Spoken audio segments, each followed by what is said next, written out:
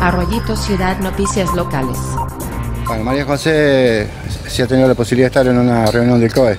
Sí, eh, todavía no ha combinado, salimos un ratito, hay eh, muchos, muchas características y conceptos técnicos y médicos precisos para el traslado de pacientes desde eh, cuando apenas presentan síntomas hasta cómo tiene que vestirse el personal para poder asistirles.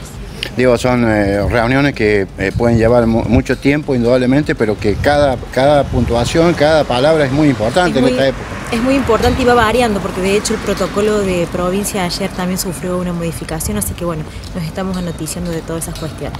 María José, como siempre, gracias. Gracias a ustedes.